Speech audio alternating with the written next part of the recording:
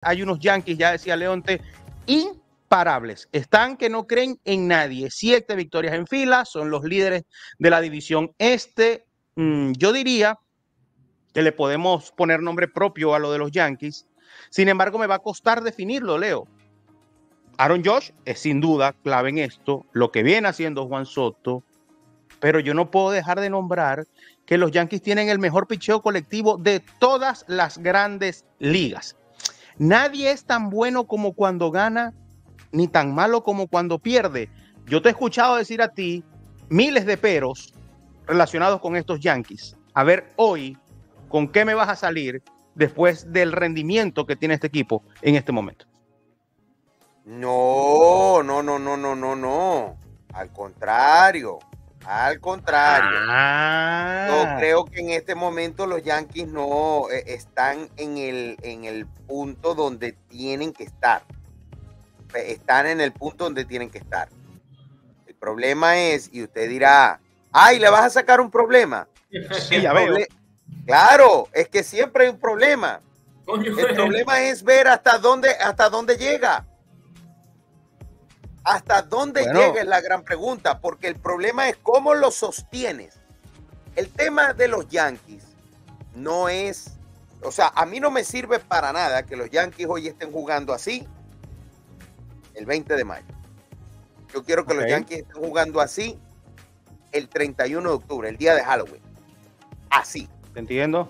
¿Te entiendo? Porque los Yankees están hechos para jugar así el 31 de octubre, el día de Halloween. Y si no están, mm. si no están jugando el día de Halloween, pues es fracaso. Es fracaso total. Y fracaso, y fracaso estrepitoso el de este año, porque ya no hay tiempo. No hay tiempo de espera. La paciencia se acabó. Y mientras más alto subes, más duro es la bajada.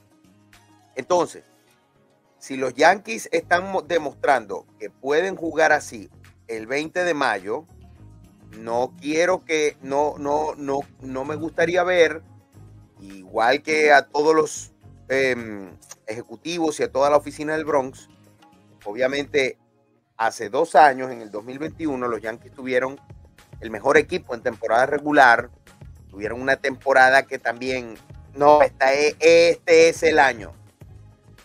Y no llegó, no llegó, y no llegó.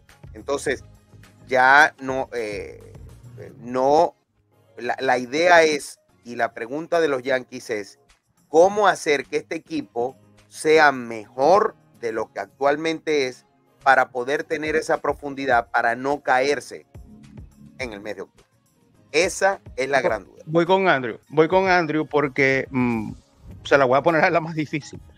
Eh, ¿Cómo se supone que se puede ser mejor que el equipo que lidera la liga en jonrones, en OVP, eh, está entre los líderes en OPS, lidera el picheo colectivo, tiene el mejor cerrador de la liga, tiene probablemente a dos jugadores que van a pelear el MVP, eh, una rotación envidiable. Leo dice que, que este equipo tiene que responderse la pregunta de cómo ser mejor. ¿En serio se puede ser mejor que estos Yankees? Gilberto, si los Yankees en este 2024 quedan campeones, por ejemplo, ganan la Serie Mundial con cinco juegos, van a salir críticos diciéndole por qué no lo ganaron en cuatro. Eso es así. Eso es así. Porque los Yankees, ganando o no ganando, siempre van a tener los críticos de que tienen que jugar mejor. porque hay que ir en, estas son cosas más allá, fuera del rendimiento de los peloteros es una cultura que se ha creado por la franquicia, por el equipo, por la historia. Así que yo creo que mejor ahorita no se puede jugar, o sea, como los Yankees, pero siempre van a tener los detractores que van a decir le hace falta algo al equipo de los Yankees. Los detractores de los Yankees normalmente son ellos mismos, o sea, sus propios seguidores. Correcto. No, hay nadie más exigente que un, que un yanquista. O sea, parece nunca estar conforme con nada. No, no, no, no, no, no, no, no, no. salió solo, salió solo porque nadie lo mencionó. Nadie lo mencionó, mira cómo salió solo. Pero es que lo está poniendo de esa forma, pero es que esa, esa no es la manera, esa no es la perspectiva del 2024.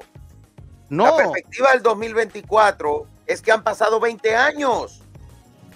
O sea, tú no puedes estar esperando por un equipo por 20 años como los Yankees. O sea, si tú me dices a mí, no, tu, matemáticas creo que están un poco mal. Todos los años Milwaukee trata de armar un equipo competitivo y nunca han ganado una serie mundial. Eso es otra narrativa.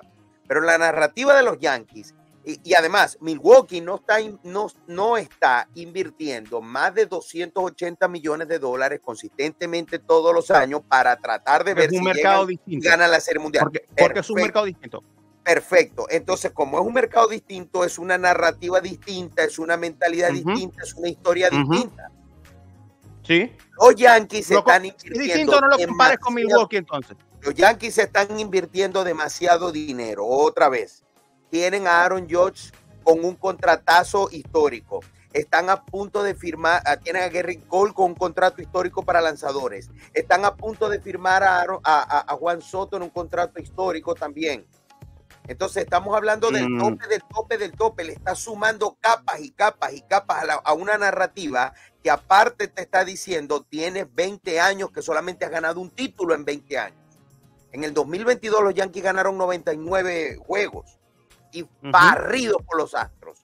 En el 2010, en el 2021 llegaron de segundos con el mismo, con, prácticamente con una nómina parecida. En el 2020, la temporada de la, de, la, de, la pandemia, ni siquiera tampoco ganaron la división. En el 2019 ganaron dos, 103 eh, juegos estos Yankees. Y okay. 4-2 se le pasaron por el filo también los Astros. Entonces, el problema aquí han sido los Astros. No, mentira. No, no son los Astros, son los Yankees. Los Yankees que no han podido, no han podido superar esa barrera que se ha llamado Astros de Houston en todos estos años en la postemporada y que ya este año llegó a su máximo nivel de tolerancia. No se, no escúchame bien, escúchame lo que te voy a decir, escúchame lo que te voy a decir. Eh, yo entiendo tu narrativa, yanquista, por, por demás. Eh, pero más allá de eso, fíjate lo que yo opino escuchándote, ¿no? Eh, día a día. Ya Brian Cashman se le acabó el saldo. Esto no da más. Esta paciencia se agota.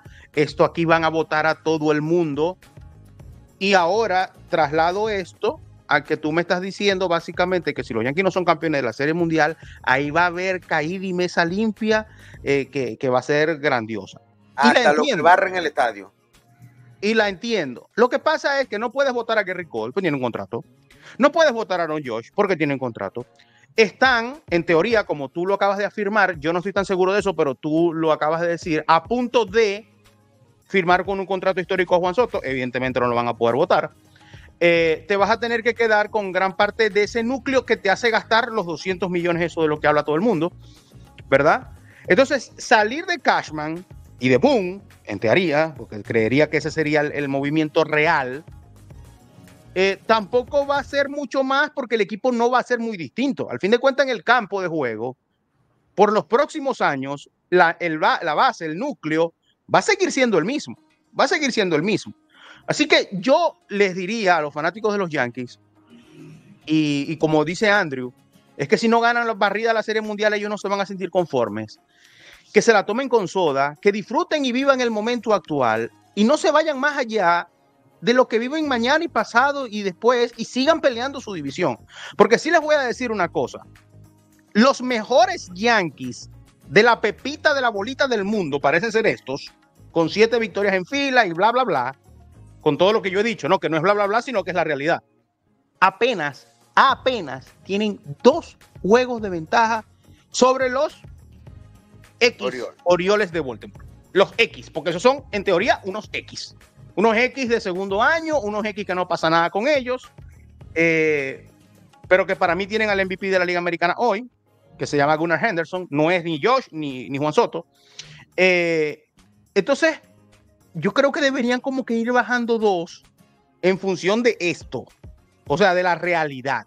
La realidad es que los Yankees han venido jugando un gran béisbol durante todo el año, pero en su división tienen un equipo que ha jugado tan bien como ellos, sin gastar todo ese poco de plata, ni estar ahogado, ni estar en, en paciencia agotada, ni mucho menos Yo creo que esa es la parte de la realidad de los Yankees en la que se tienen que realmente enfocar.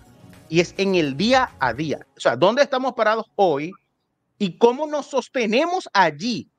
Porque si fíjate que hoy, líderes con dos juegos de ventaja, siete victorias en fila y el, todo el bla, bla, bla, más o menos andan como que, bueno, esto tienen que, la gran pregunta es cómo lo llevan más allá, cómo trascienden. Y, y ese trascienden les puede, en una semana mala, no sé qué estaremos aquí diciendo de los Yankees. ¿Tú te imaginas, Andrew, que este equipo pierda dos juegos, dos de tres en las próximas dos series? Aquí, aquí habrá que hacer un funeral. Se, se catastrófico. catastrófico, catastrófico, catastrófico. No pueden perder series, pues. No pueden perder series. No pueden perder series. No este equipo no está hecho para perder series. Es lo mismo que los Dodgers, pero ¿qué pasa? Pero si es lo mismo que los Dodgers. Imagínate que los Dodgers, o sea, los Dodgers ahorita, en este momento todo el mundo habla del triángulo de las Bermudas con los Dodgers. Oh, Otani y Mookie Betts y Freddie Freeman, tres MVP. Sí, pero nadie está hablando de que Freddie Freeman nada más tiene cuatro honrones. Todo el mundo habla de que, ah, ¿dónde está el poder de Acuña? ¿Y dónde está el poder de Freddie Freeman? Lo mismo decíamos de Aaron Josh en las primeras, de los primeros 20 juegos de la temporada. Pero ya aprendió los motores, ya aprendió los motores el hombre. Ya aprendió los motores. lo mismo. Sí, pero lo que pasa es que Freddie Freeman tiene, o sea, me, refiero a los Dodgers, tienen a Will Smith, tienen a Teoscar Hernández. O sea, ellos tienen otras cosas. Si en Nueva York se apaga uno de esos motores, que, realmente que no me gusta la palabra los motores por otras cosas, eh, pero es, una cosa que yo digo. Bueno, ahí está Verdugo. Va a llegar. Ahí, está, Verdugo que ha venido bateando muy bien. O sea, está tú estás comparando la temporada de Verdugo con la de Teóscar Hernández, en serio. No, pero Anthony Rizzo sí. Anthony Rizzo es un jugador a la altura que tiene que salir y mostrar. como que de quién? De Teóscar Hernández. Anthony Rizzo, una estrella de grandes ligas. ¿Tú estás comparando en serio los números de Teóscar Hernández con los de Anthony Rizzo? No, este año no, pero Anthony Rizzo es una estrella y para eso lo buscaron. O sea, Anthony Rizzo, no, Anthony Rizzo sigue de ver con los Yankees. Anthony Rizzo no está ahí para. Ah, yo te iba a decir, yo te iba a decir eso, no pasa nada con Anthony Rizzo. Bueno, este año no está pasando nada con Anthony Rizzo. no, ni el año pasado tampoco. Tampoco, está de ver, es un jugador de eso que está de ver. Los Yankees están ahí por su picheo.